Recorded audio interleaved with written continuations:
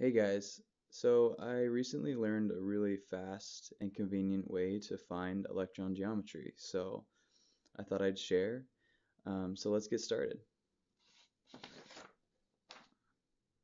So there's a few steps. Step one, you're going to identify the central atom and then count the number of valence electrons of the central atom.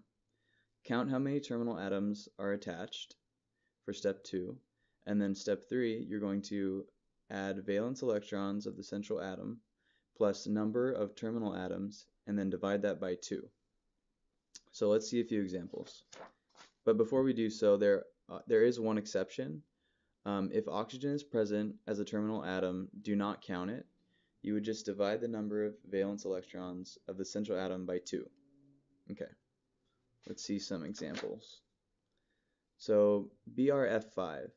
Now, Step one says that you're going to count the number of valence electrons of bromine, so that's seven. And then it has five atoms attached, so the electron geometry will be seven plus five divided by two, that's six. And as you guys know, that's octahedral because six things around an atom for electron geometry is octahedral. So the next, next example would be H2O.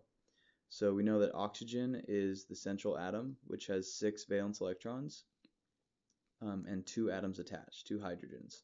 So that's six plus two equals, or divided by two is four, and that's tetrahedral. Now the last example will be with our exception for oxygen. So there's SO2. We we know sulfur is our central atom that has six valence electrons. And then, as I showed you guys, for the exception, you do not count the oxygens.